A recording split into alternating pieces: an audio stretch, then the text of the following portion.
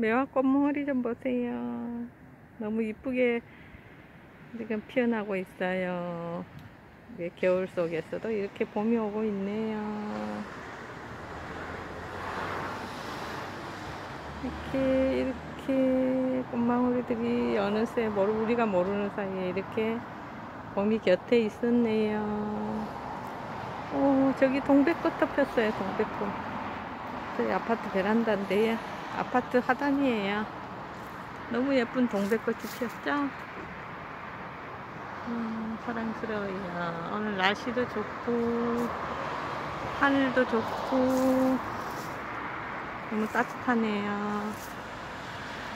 여기는 애들이 상사와 건물, 상사와 이파리예요. 이렇게 있다가, 어, 늦여름에 이제 꽃, 꽃무릇이 올라오는 거예요. 빨간 꽃 아시죠? 이렇게 겨울을 견디고 있답니다. 다음에 또 봬요.